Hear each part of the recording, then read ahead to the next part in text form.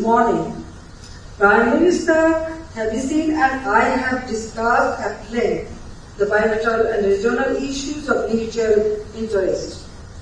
We agree to make all efforts to enhance our bilateral trade and encourage more interactions between the public and private entities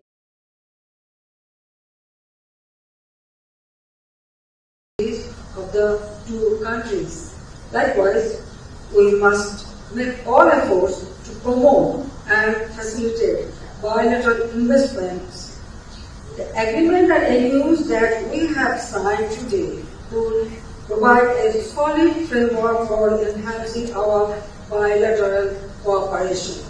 This official visit will remain a milestone in our bilateral relations.